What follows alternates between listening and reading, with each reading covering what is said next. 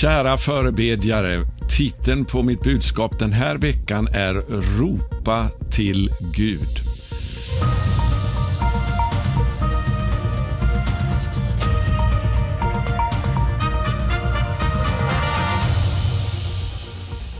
Och Det här är ett budskap som är en fortsättning på det som jag talade om förra veckan, om att fylla böneskålarna.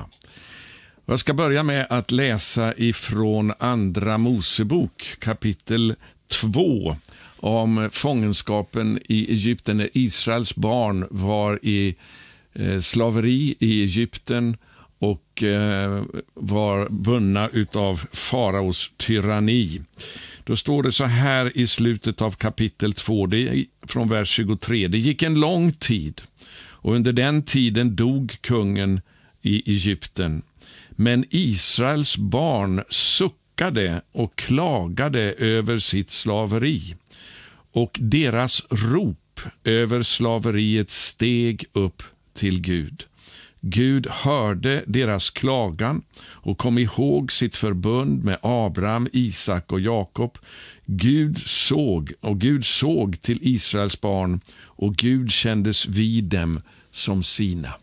Ja, det här känner en del av er igen ifrån min böneskola där jag talar om det här att eh, Gud hade ju redan förutbestämt att Israels barn skulle komma ut ur Egypten 430 år efter Gud talade till Abraham i Första Mosebok kapitel 15. Men när Gud sedan uppenbarar sig för Mose i den brinnande busken i Sinai, på Sinai berg, så nämner Herren ingenting om det här löftet till Abraham som orsaken till varför han eh, nu tänkte sända Mose till att befria folket ifrån slaveriet. Vi ska titta på det i kapitel 3 här, där det står så här. Eh, vi kan läsa ifrån vers 6. Och han sa, jag är din faders Gud, Abrahams Gud, Isaks Gud och Jakobs Gud. Då dolde Mose eh, ansiktet, ty han bävade för att se på Gud. Herren sa, jag har sett hur mitt folk förtrycks i Egypten och jag har hört hur de ropar över sina plågare. Jag känner till deras lidanden. Därför har jag stigit ner för att rädda dem undan egyptierna och föra dem från det landet upp till ett gott och rymligt land, ett land som flödar av mjölk och honung. Så vi ser här att orsaken till att eh, Gud säger att nu eh, ska jag befria folket ifrån slaveriet i Egypten är inte därför att han säger nu har nästan 430 år gått sedan jag lovade Abraham att eh, folket skulle bli fri, befriat ifrån slaveri. Utan det var på grund av att folket ropade till Gud. Därför står det att på grund av att han hörde deras rop så, så skulle Gud eh, stiga ner för att befria sitt folk. Och Det är likadant med oss idag. Gud har bestämt en väckelse över Nordens länder. Men den här väckelsen väntar på att vi ska höja vår röst och ropa till Herren. Det är för att det är därför som Gud kommer att uppfylla det här. Det är ganska märkligt, jag måste säga det också, att i Andra Mosebok kapitel 12, när det står om hur Israels barn kom ut ur Egypten, så eh, står det så här ifrån vers eh, 40. Den tid som Israels barn hade bott i Egypten var 430 år. Och det hände att just den dag då de 430 åren hade gått drog alla Herrens härskaror ut ur Egyptens land. Så alltså Gud uppfyllde sitt löfte till Abraham på dagen. Men det var inte på grund av den tidpunkten som Gud eh, steg ner för att befria dem, utan därför att han hade hört folkets rop. Så det, eh, lärdomen ifrån det här det är att Guds förutbestämda vilja den befriar oss inte ifrån vårt ansvar att göra vårt. Och Gud har som sagt var bestämt en mäktig väckelse över Nordens länder, har talat om det i årtionden till så många människor. Och Det var ju så jag fick min kallelse 1977. Men det här väntar på att vi ska eh, höja vår röst och ropa till Gud, därför han väntar på det här ropet. Och Det är ju så att en profetia som också har blivit väldigt välkänd, det är ju det eh, ord från Herren som Daniel Wiklund fick 2001. Det är ju alltså 23 år sedan nu. Och jag ska läsa om den profetian, även om väldigt många känner till den. Eh, Daniel Wiklund han skriver så här. Under sommaren 2001 fick jag se någonting som skakade mig. Jag hade lyssnat på budskapen som Steve Hill framburit. När jag började söka Herren så flyttades jag in i en överväldigande syn. Steve Hill, för de som inte vet vem han var, han är hemma hos Herren nu, men det var han som var redskapet till väckelsen i Pensacola eh, på 90-talet. Så jag fortsätter att läsa här ifrån Daniel Wiklunds redogörelse. Jag stod, säger Daniel, som en jätte, jag stod som en jätte mitt i Finland och såg in över Sveriges gränser. Jag kunde urskilja det vackra landskapet från syd till nordspets. Högt över markytan såg jag en brinnande massa. Den brann med en sådan intensitet att den var vitglödgad. Den låg över hela landet. Jag förstod att det var en manifestation av Guds härlighet, hans närvaro. Det var väckelsens eld. Under det att jag stod och iakttog detta eldstäcke tänkte jag på orden som Birger Skoglund fick med sig hem från Jordanien. Jag har tänt en eld från Treriksröset i norr till Smygehuk i söder, från Stockholm i öster till Göteborg i väster. Orden ”jag har tänt” fick en helt ny betydelse. Jag fylldes av en våldsam smärta i anden och tänkte, vad gör elden där uppe? Den borde vara nere bland folket. I samma stund som den tanken slog igenom mig så hördes ett rop. Det var inget jubelrop utan ett utdraget, smärtsamt rop. Ropet kom från någonstans i mellersta Småland. När ropet göd släppte en stor del av eldsmassan från sitt fäste och föll ner över platsen varifrån ropet ljudit och hela markytan omvälvdes av elden. Nästa rop kom högt uppifrån Norrland. Samma sak hände och elden föll över platsen som ropet kom från. Sedan kom ropen så tätt att jag inte hann att urskilja platserna. Innan synen bleknade bort kunde jag se att största delen av Sverige brann i Guds eld. Ja, det här är väckelsen som vi eh, ropar till Gud om. Så hörde jag Herren tala. Och lyssna här, det är det här som är alltså lärdomen nu. Väckelsens eld ligger alltså där och vilar över Sverige och Nordens länder. Det var det som Daniel Wiklund såg i den här synen. Men så hörde han Herren tala. Det är det som ropar Ropar på elden som får den. Sedan gav eh, han mig orden från psalm 42. Djup ropar till djup. Jag förstod att det inte handlade om röstvolym utan om djupet av engagemang och självuppoffring i ropet. Ja, det är det här som jag har som budskap på mitt hjärta den här eh, veckan eh, till alla er bedjare. Att det här ropet ska få stiga upp till himmelen utifrån djupet av våra hjärtan att Gud skall gripa in och att eh, väckelsens eld ska förlösas ibland oss som svar på detta rop inför Herren. För Herren handlar alltid som svar på sitt folks rop till honom. Jag blir påmind om också den mäktiga väckelsen i Argentina. Jag har 1954, jag har nämnt om det flera gånger i mina budskap. Det var ju så att eh, en, eh, ett budskap kom till eleverna på en liten bibelskola i Argentina som då räknades för det mest stängda landet för evangelium i hela västra hemisfären. Och Herren sa till de här eleverna, ropa till mig. Det är ingen som ropar till mig ifrån Argentina. Jag hör inget rop. Och Den här nöden den drabbade de här eleverna så att de började ropa. Och det är ju så att Budskapet kom tydligen på engelska, kanske på spanska, jag vet inte. Men jag har ju läst berättelsen på engelska och där heter det Cry for me Argentina. Och Ordet cry på engelska det betyder ju både att ropa men också att gråta. Och Det är de här tårarna, vill jag säga, som får Guds hjärta att röra sig på ett speciellt sätt. Jag eh, tänker på berättelsen när Lazarus hade dött. Och först så kommer Maria eh, och möter Jeshua, eh, Jesus utanför byn och eh, Hon börjar liksom att klaga sin nöd och säga hade du varit här så skulle min bror aldrig ha dött. Och Det utspelar sig liksom ett teologiskt resonemang emellan dem. Men hon gick tillbaka sedan och hämtade sin syster Maria och när Maria kom då hände någonting annat.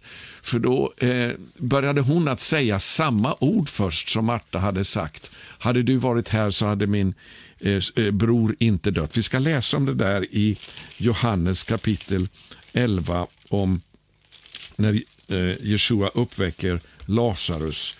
Eh, och Det står alltså att eh,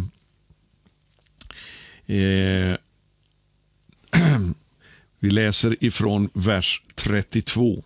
När Maria kom till den plats där Jeshua var och fick se honom föll hon ner vid hans fötter och sa till honom Herre, om du hade varit här skulle min bror inte ha dött. Men lyssna vad som står här. När Jesus såg att hon grät och att judarna som följde med henne grät blev han häftigt upprörd och frågade var har ni lagt honom? Det svarade Herre kom och se och Jesus grät. Och, och Då sa judarna se hur han älskade honom. Eh, men alltså, och så återigen då i vers 38. Jesus blev häftigt upprörd och gick till graven. Det var en klippgrav med sten för öppningen. Jesus sa, ta bort stenen. Den döda syster Marta sa till honom, Herre, han luktar redan, det är ju fjärde dagen. Jesus sa till henne, har jag inte sagt dig att om du tror ska du få se Guds härlighet? Och så tog de bort stenen och Jesus ropade till Lazarus att han skulle komma ut. Men det, är alltså det som fick Jesus att agera, det är en sån stark kontrast här med det som händer när han ser, såg hur Maria grät då rördes han i sitt innersta och kunde inte hålla tillbaka längre eh, det Gud ville att han skulle göra, utan han började att agera med en gång och fråga var har ni lagt honom? Och så gick han till graven eh, och började eh, tacka Gud och, och be en kort bön innan han ropade på Lazarus att komma ut. Det var det här gråten som rörde vid hans hjärta. Och Det är ju alltså rop under tårar. Det var ju så som Jesus bad. Vi läser om det i Hebreerbrevet där det står i det femte kapitlet att med starkt rop och tårar så bar han fram böner till honom som kunde rädda honom ifrån döden. Jag ska läsa det i Hebreerbrevet 5 och 7. Men när han levde här i köttet ropade han högt under tårar när han bad och åkallade den som kunde rädda honom från döden och han blev bönhörd och tagen ur sin ångest. Det är det här vi ska gå in i, vänner. Det här ropet till Gud. Så vad som hände i Argentina där det var alltså när de hörde det här eh, profetiska budskapet ifrån Herren. Ropa till mig Argentina, gråt till mig över tillståndet så ska ni få se en skillnad. Och Det gjorde att man kunde inte ha några lektioner på flera veckor därför att bönens ande föll så mäktigt så att varje morgon de kom till bibelskolan så började de att gråta och ropa till Herren. Ända till efter några veckor, jag kommer inte ihåg exakt hur lång tid det tog, så en morgon så var nöden och bördan borta. Och Herren talade och sa, ropa inte längre, jag har hört era rop och försten över Argentina är bunden.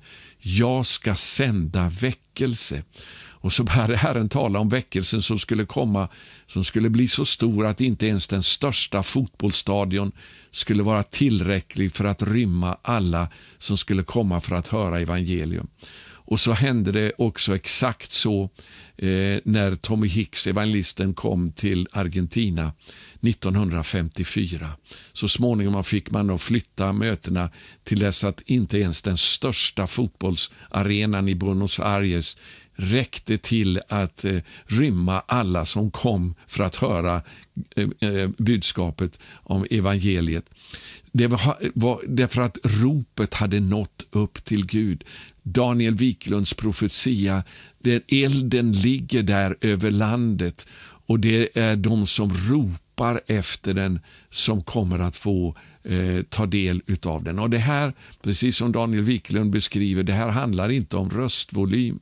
Det handlar om den här djupa nöden och smärtan. I själva verket när vi läser om eh, Hanna i första Samuelsbokens första kapitel så eh, står det om att hon grät inför Herren. Eh, jag ska läsa om det här också från vers 9 här i kapitel 1 i första Samuelsboken. Sedan de hade ätit och druckit i Silo reste sig Hanna och gick till Herrens tempel där prästen Eli satt på sin stol vid dörren. Hon var djupt bedrövad och började be till Herren under häftig gråt. Och så gav hon ett löfte och sa, Herre Sebaot, om du vill se till din tjänarinnas lidande och komma ihåg mig och inte glömma din tjänarinna utan ge henne en son, då ska jag ge honom åt Herren för hela hans liv och ingen rakkniv ska komma på hans huvud. Det här var ett löfte som rörde vid Guds hjärta. Och Jag tror att Gud väntade på att någon skulle ha den osjälviskheten som Hanna visade här, att hon skulle överlämna det här bönesvaret till Gud att använda precis som han ville. Och så står det när hon länge bad inför Herren gav Eli akt på hennes mun. Hanna talade i sitt hjärta och bara hennes läppar rörde sig men hennes röst hördes inte. Så det var inte ens en högljudd bön. Det var en tyst bön, bara läpparna rördes. Då trodde Eli att hon var drucken, därför sa han till henne, hur länge ska du bära dig åt som en drucken? Se till att ruset går av dig. Nej, min herre, svarade Hanna, jag är en hårt prövad kvinna. Vin och starka drycker har jag inte druckit, men jag utgöt min själ för Herren. Det här är djup som ropar till djup. Tag inte för din, din tjänarinna för en dålig kvinna. Det är på, min, på grund av min stora sorg och smärta smärta som jag har talat ända till denna stund. Det är alltså utav djupet i hennes innersta, av den nöden hon hade gått och burit på så länge som hon inte längre klarade av utan att börja uttrycka den i bön till Gud. Och Ibland så kan det här ta våldsamma eh, former av att vi ropar för full hals. Men det behöver inte vara det. Det här eh, handlar om den här innersta eh, nöden ifrån vårt hjärta. Och Jag vill säga det att det är det här som beskrivs i Romarbrevet, det åttonde kapitlet eh, i vers 26 och 27. Eh, för det handlar om bön i anden. Låt mig säga det, när vi ber i den helige ande så blir vi inte trötta. Du kanske känner dig så trött och slutkörd. Du säger att du orkar inte bedja längre. Vänner, jag vill säga till dig, den helige Ande vill komma till din och min hjälp för att börja be igenom oss med såna här rop eh, ifrån vårt innersta utan ord. Bön i den helige Ande tröttar inte ut oss, tvärtom, den vederkvicker oss. Och Vi har, blir ju uppmanade i, i Fesebrevet 6 och 18 att be alltid i anden. Likadant står det i, i eh, Judas brev, eh, den 20 versen. Eh, och Det ska jag läsa här. Det står, men ni mina älskade skall uppbygga varandra på er allra heligaste tro. Be i den helige ande. Det är en befallning. Be i den helige ande. Vad är motsatsen? Det är att be i köttet, i vår egen kraft, eh, utifrån vårt eget förstånd ifrån vår egen vishet för eh, många gånger själviska syften. Men att be så som Anden leder oss att be det är en bön som når upp till Gud. Och den bönen, den styrker oss, för det är inte i vår egen kraft som vi ber, utan vi ber så som den helige Ande fyller oss med den bön som kommer ifrån Faderns hjärta. Vi ska titta på det här nu då i Romarbrevets åttonde kapitel, vers 26 och 27. Jag hoppas att det här kommer att vara till uppmuntran och hjälp för dig. Gud, Gud ser till din nöd i ditt hjärta. Om du inte ens vet hur du ska uttrycka den med ord, så läser Gud ditt hjärta. Han läser våra hjärtan som en uppslagen bok. Och det, Vi ska titta på det här vad som står i Romarbrevet 8, 26 och 27. Så hjälper också Anden oss i vår svaghet. Och Jag ska läsa den här texten om en stund också ifrån kärnbibeln med kommentarerna där, för det är väldigt upplysande vad det här handlar om. Det här med att hjälpa oss. Anden hjälper oss. Eh, och så hjälper han oss i vår svaghet. Och Svagheten är ju i vår mänskliga natur, att vi inte vet hur vi ska be. Det är det som står senare. Men ordet på grekiskan där svaghet har också med kroppslig svaghet att göra. Jag börjar ju känna av det här nu när jag eh, har börjat bli över 70 år, att jag har inte samma kroppsliga kraft att be längre som när jag var ung. Och Ibland så önskar jag att jag skulle eh, kunna ha det. Men vänner, det är inte genom någon människas styrka eller kraft det ska ske, utan genom min ande, säger Herren. Och Här har vi löftet om en hjälpare som hjälper oss att kunna be så som Gud vill enligt hans vilja. Halleluja! Jag läser igen från början av versen. Så hjälper också Anden oss. Bokstavligen betyder det på grekiskan Anden tar tag tillsammans med oss. Halleluja! Eh, och hjälper också Anden oss i vår svaghet. Ty vi vet inte vad vi bör be om. Eller också som det kan översättas, vi vet inte hur vi ska be. Därför att i vårt eget förstånd, det räcker inte till. Våra egna tankar, de når inte riktigt hela vägen. Det är klart Gud lyssnar till orden som vi talar inför honom, men det som bär oss igenom så att bönen bryter igenom och åstadkommer någonting, det är när den helige Ande får börja be igenom oss. Det står så här, vi vet inte vad vi bör be om, men Anden själv ber för oss med suck suckar utan ord, eller som det också kan översättas med rop utan ord. Det var de här ropen som Gud hörde ifrån Israels barn i fångenskapen i Egypten och som rörde vid hans hjärta och gjorde att han kom ihåg löftet till Abraham, Isak och Jakob och bestämde sig för att komma ner för att rädda sitt folk. Gud är ju inte glömsk, men det finns någonting i Guds eh, rådslut av att han samarbetar med oss i vår bön för att hans vilja skall ske. Och när vi blir tillräckligt desperata i våra liv så att vi börjar ropa till Gud i den helige Andes kraft, det är då den, den här bönen föds ifrån vårt innersta, som också Hanna gav uttryck för där i, när hon bad i templet. Och det är det som får Gud att agera. Återigen profetian som Daniel Wiklund fick att frambära. Elden finns där över landet och väntar på människor som börjar ropa efter Guds kraft, Guds eld, att den helige Ande skall falla. Och Sen står det då i vers 27, och han som utforskar hjärtan vet vad Anden menar, eftersom Anden ber för det heliga så som Gud vill.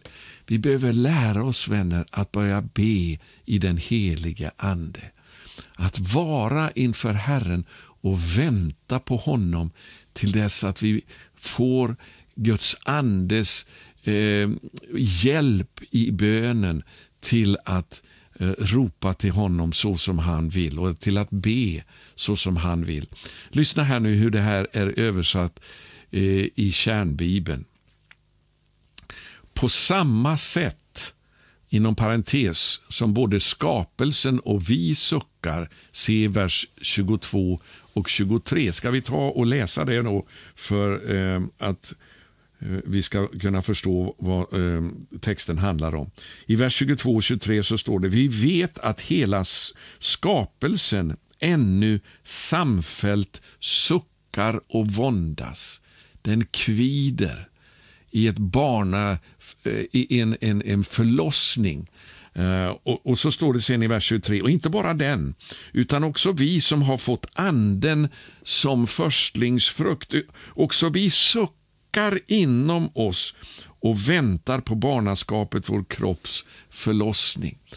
Alltså det är den här suckan, det här suckandet och ropet ifrån vårt innersta som det handlar om sen också här då i vers 26. På samma sätt som både skapelsen och vi suckar, se vers 22 och 23, hjälper, inom parentes undsätter, ju också anden oss.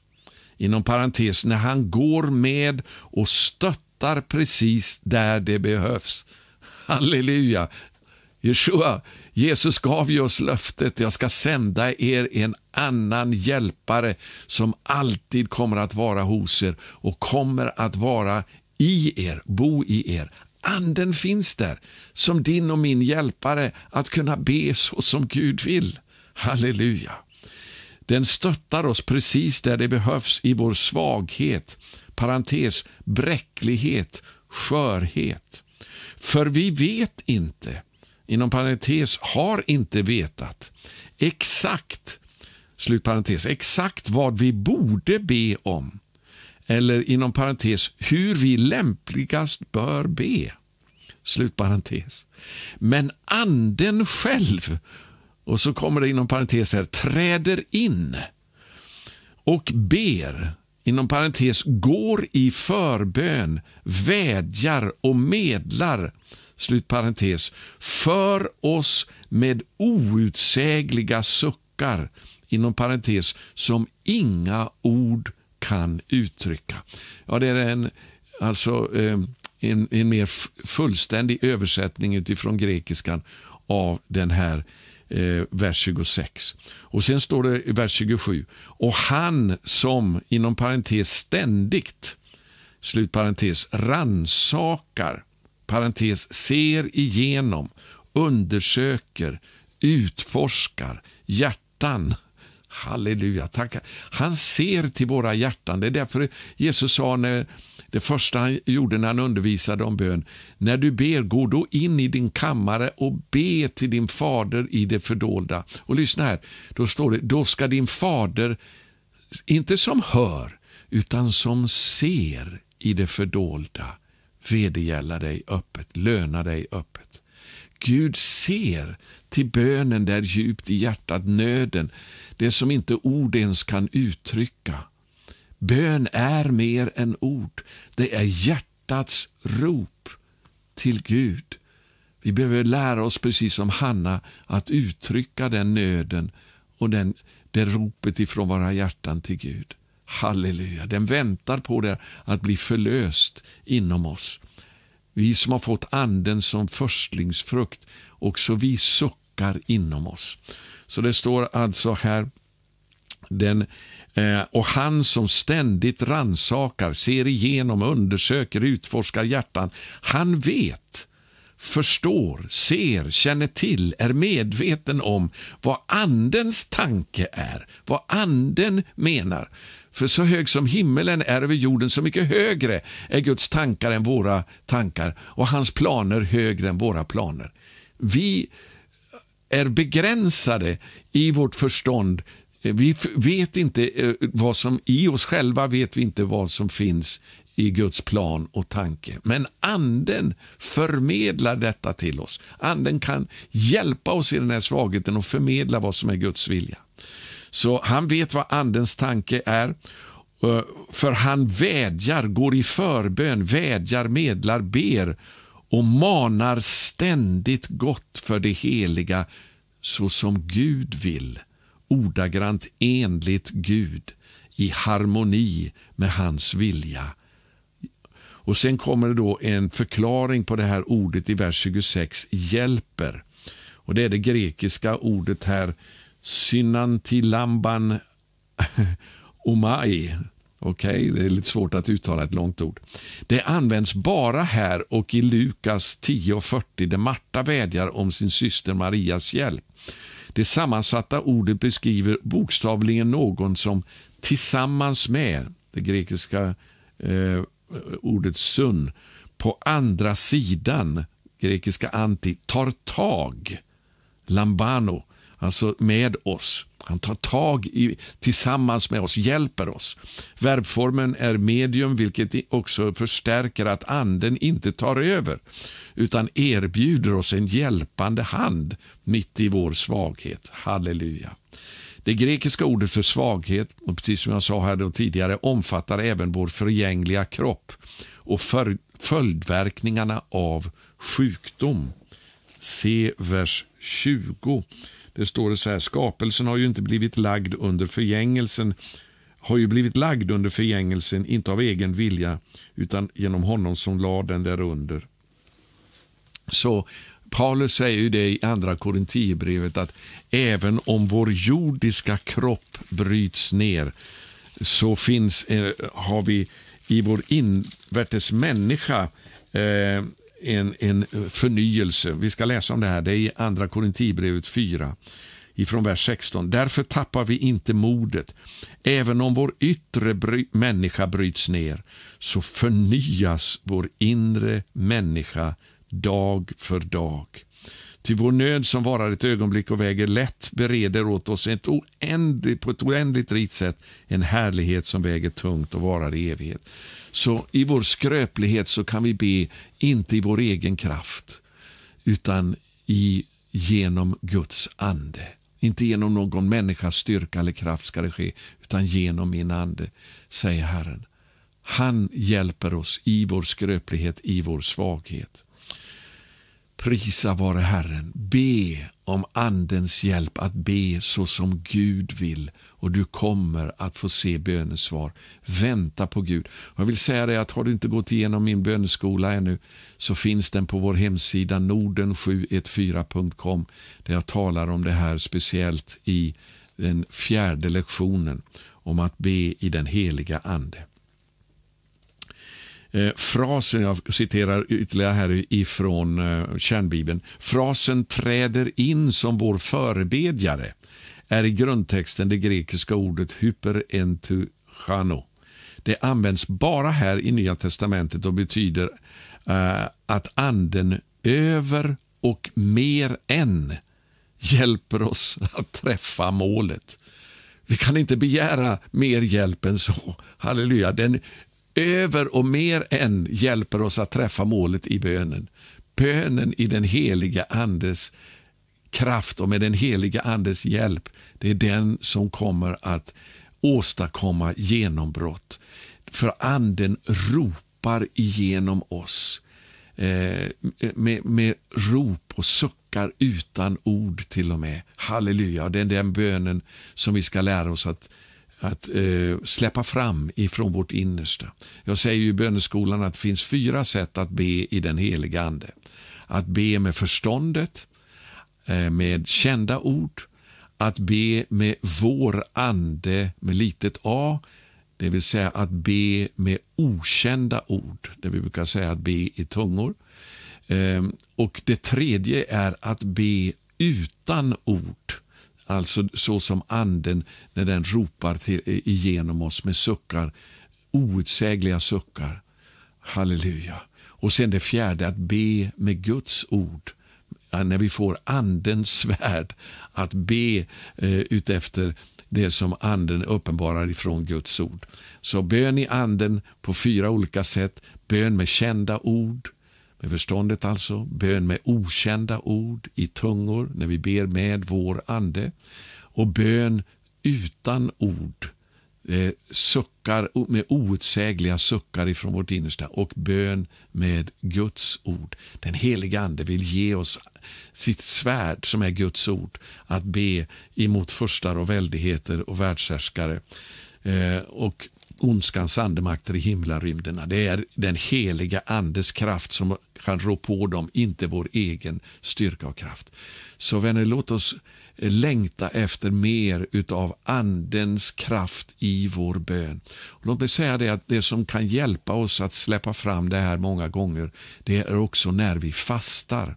För då liksom blir vi svagare i vår egen kraft så att den heliga Ande mera kan få tillfälle att få utrymme eh, när vi beder. Så vi uppmanar ju alla att eh, vara med och fasta på onsdagar, eller förlåt, på måndagar nu i Norden 714. Så eh, det är en väldig kraft och styrka att göra det regelbundet en gång i veckan. Jag ska tala också om en, eh, Eh, ett upprop till bön här senare nu i mars, om en liten stund. Men det är den här bönen i, genom Guds ande som Gud längtar efter att vi ska få eh, att vi ska släppa fram eh, väldigt mycket mer än vad vi har gjort hittills. Jag vet själv att det är svårt att be ibland. Man tycker man har ingen kraft att kunna be. Men att bara gå ner på knä och erkänna sitt fullständiga beroende av Gud, att vi inte vet hur vi ska be, det gör att den helige Ande kommer till och hjälper oss. För om vi tror att vi vet hur vi ska be, då är vi bedragna. Och Då säger den helige Ande, du kan göra det utan min hjälp, varsågod. Men om vi erkänner, Gud hjälp mig att be, då kan han komma till vår hjälp att bedja så som Gud vill. Halleluja. Och Den här väckelsen som vi längtar efter, den kan förlösas genom detta rop utifrån vårt innersta om ett ingripande elden väntar på att bli förlöst genom vårt rop. Så det var mitt budskap för den här veckan. Det är alltså en uppföljning till förra veckans budskap. Om du inte har sett det, att fylla böneskålarna. Herren längtar efter den här bönetjänsten. Och Det är i vår svaghet, i vår bräcklighet, i vår ofullkomlighet som vi kan få vara med att göra det här. Kom ihåg att det är en enorm skillnad på, mellan lagiskhet och disciplin. Lagiskhet är när vi själva vill åstadkomma någonting för att imponera på Gud. Och det ska vi, vi ska inte förtrösta på någonting annat än på Guds nåd, vänner. Men disciplin, det är något helt annat. Det är, det är att vi ger Gud tillfälle, genom att vi disciplinerar oss, ger han honom tillfälle att kunna hjälpa oss att be så som han vill. Så att ha bönevanor det är väldigt starkt. Och om vi inte, om vi, när vi misslyckas, rättare sagt, för det gör vi alla förr eller senare. Vi kan inte eh, hålla bönevanorna som vi önskar ibland. Men eh, då är det ingen fördömelse för det. Därför att det, det är bara att ta nya tag, att fortsätta eh, med, att, eh, med de vanor som Gud vill att vi ska ha, att bedja dagligen till Herren. För när vi är inne i lagiskhet, det första och tydligaste kännetecknet på det eh, om vi är inne i lagiskhet är att vi blir högmodiga när vi lyckas och vi blir förtvivlade när vi misslyckas. Varför? Därför att vi har förlitat oss på vår egen kraft. Vi ska inte förlita oss på någon egen förmåga, utan bara eh, förlita oss på Guds hjälp och hans nåd och hans kraft. Halleluja. Och Då kan vi ge honom tillfälle att visa den nåden och kraften när vi ödmjukar oss inför honom, går ner på våra knän, är noggranna med att ta tid varje dag för att vara tillsammans med Herren. Och vänta på hans kraft, på att den helige Ande ska hjälpa dig att be så som Gud vill. Ja, det finns väldigt mycket att säga om bön, men jag ska inte göra det nu. Och som sagt, har du inte gått igenom böneskolan så gör gärna det. Det är nu Eh, närmare 11 000 som har gjort det bara enbart i Norden. Prisa Gud för det. Det är två bönämnen som jag vill eh, att vi ska bedja för speciellt nu.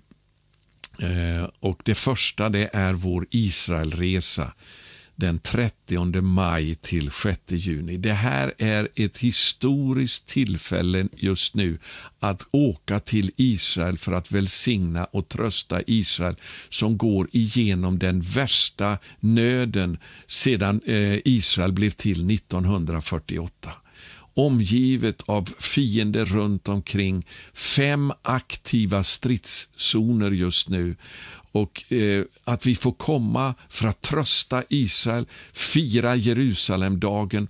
Vi kommer att få träffa sådana som har överlevt den här massakern eh, ifrån Gaza. Vi, kommer att, eh, eh, vi planerar att ordna en grillfest för soldater som har varit i krig.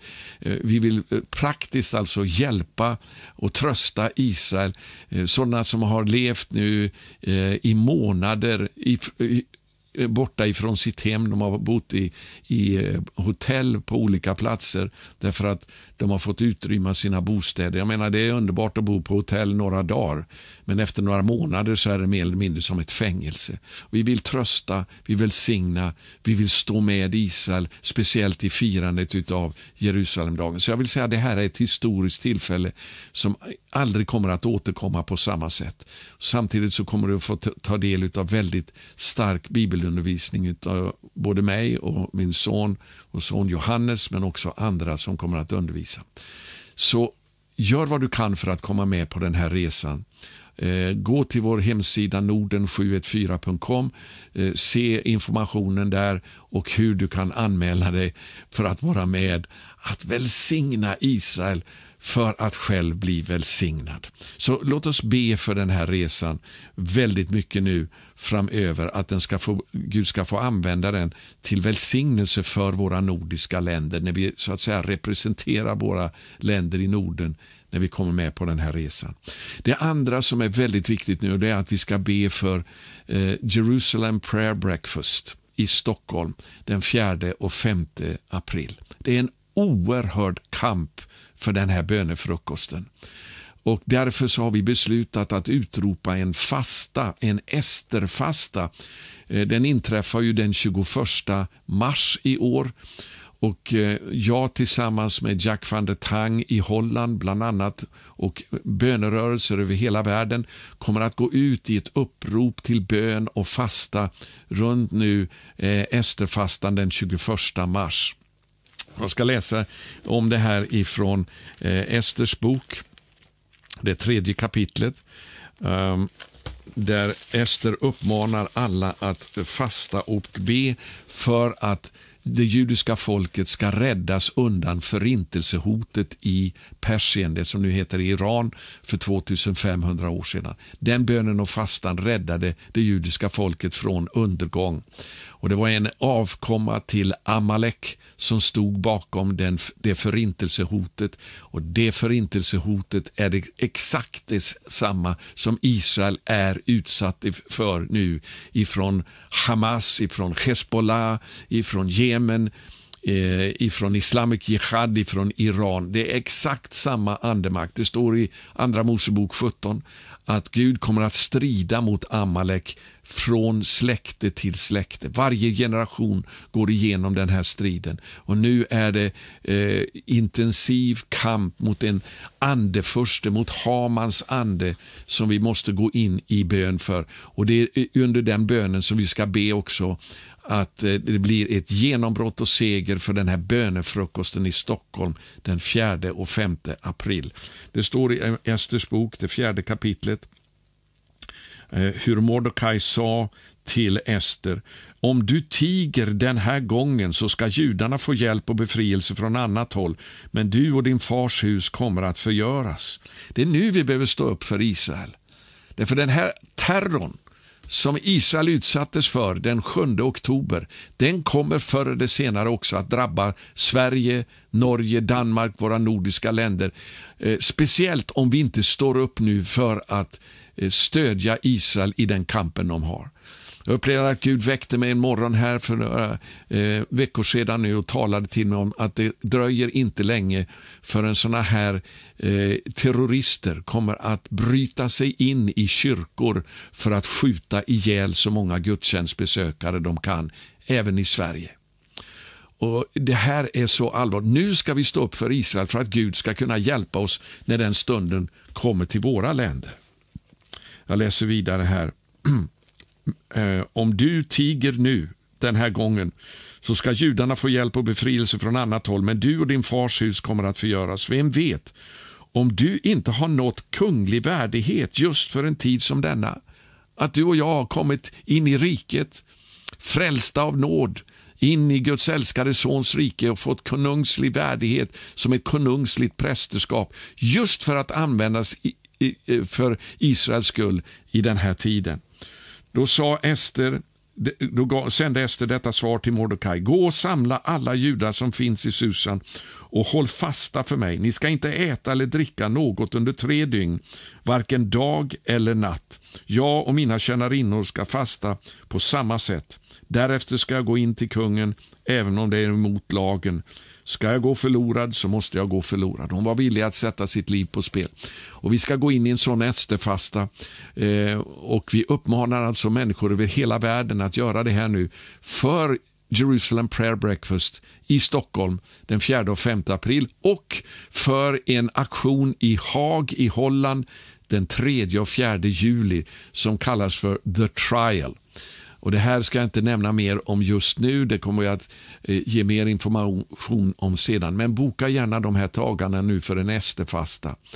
Från eh, strax före solnedgången den 20 mars och fram till soluppgången den 22 mars. Det räknas som tre dagar eh, enligt Bibelns räknesätt, precis som fastan var här eh, under Ester Eh, då de skulle fasta tre dagar, dag och natt.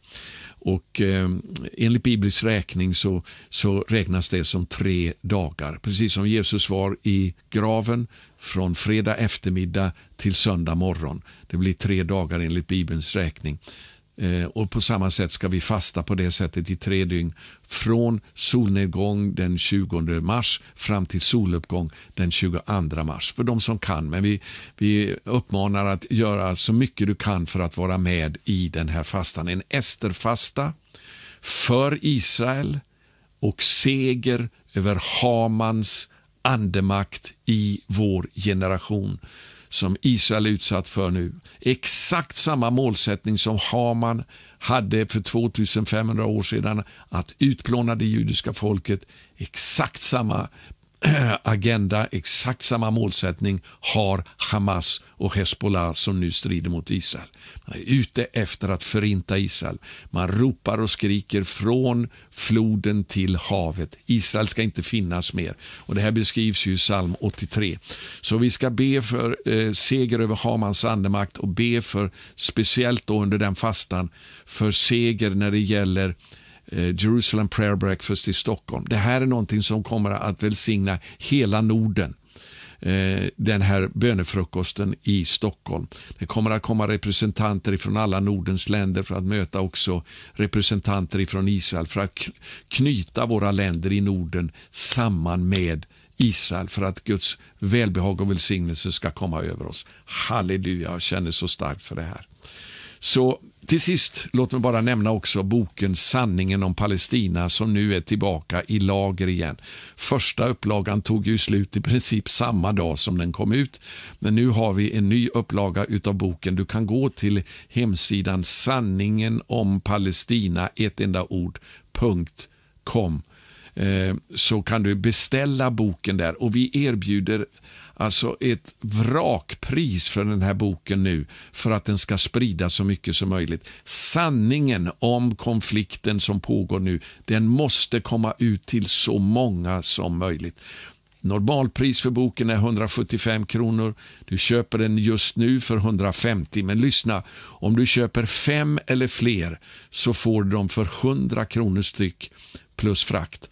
Och köper du 25 eller fler får du dem för 75 kronor eh, per styck plus frakt. Och Frakten är väldigt billig just nu i Sverige när vi skickar ut dem. så eh, Det är väldigt förmånligt. Och för Vi har ett avtal med, med eh, eh, de som, som skickar ut böckerna för oss. Och lyssna, om du tar och köper 100 böcker, alltså redan när du köper 25 böcker för att sedan sprida så att du får tillbaka dem igen. Du kan sälja dem för 150 kronor och även eh, få en förtjänst på dem om du vill. Eller dela ut dem om eh, du har råd till det.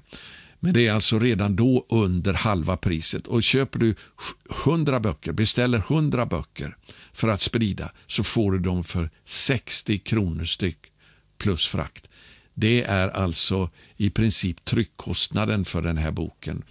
Så vänner, Låt oss sprida den här boken. Vi behöver bli kolportörer, precis som under 1800-talet när man gick runt i husen och sålde böcker, andlig litteratur som väckte, var ett väldigt starkt redskap i folkväckelserna på 1800-talet. Så behöver vi bli kolportörer, vi behöver inte gå från hus till hus idag. Ja, det gör man ju med boken om hopp nu och vi ska fortsätta att bedja för det.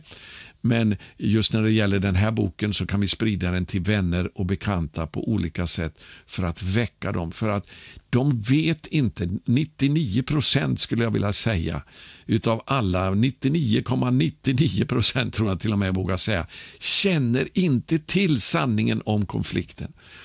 Israel strider mot en satanisk organisation i Gaza. Och Den sataniska organisationen är precis som Satan själv. Hamas, alltså talar jag om här, inte om människorna, jag talar om organisationen Hamas.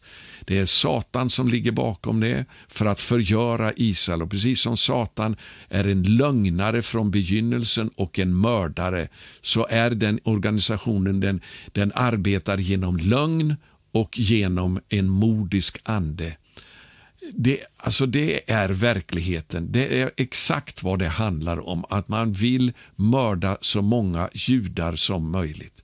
Det var målsättningen den 7 oktober. Och sedan så försöker man få världens sympatier med hjälp av lögn. Sanningen, alltså Satan är en bedragare som bedrar hela världen. Och Det gör han nu genom lögner om Palestina. Sanningen, historiska fakta och framförallt fakta ifrån Bibeln måste spridas så att människor förstår vad den här konflikten handlar om och att de kan ställa sig på rätt sida för att försvara Guds egendomsfolk.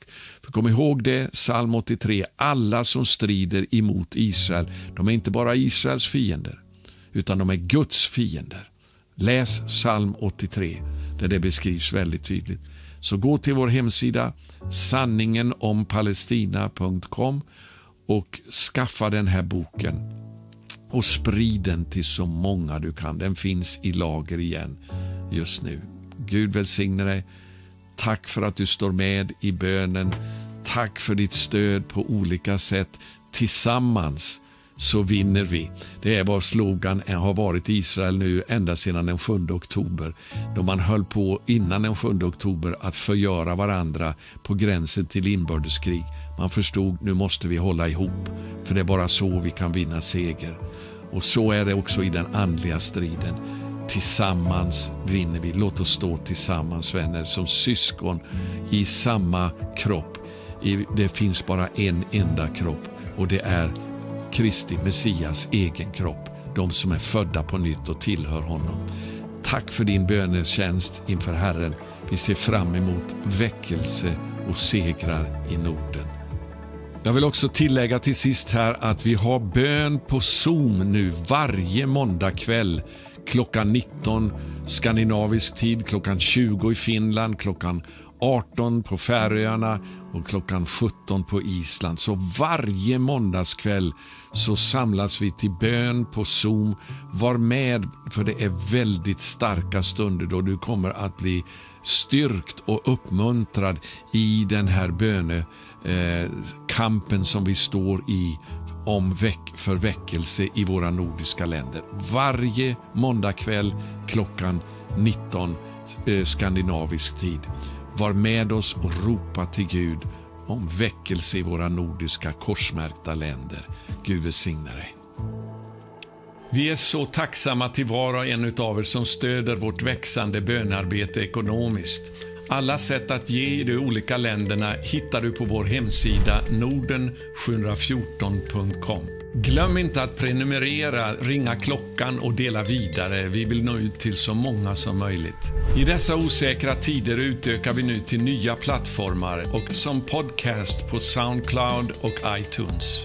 Se beskrivningen nedan hur du kan gå igenom en gratis böneskola och bli en del av 10 000 bedjare för andligt genombrott och väckelse i Nordens länder. Gud välsigne dig.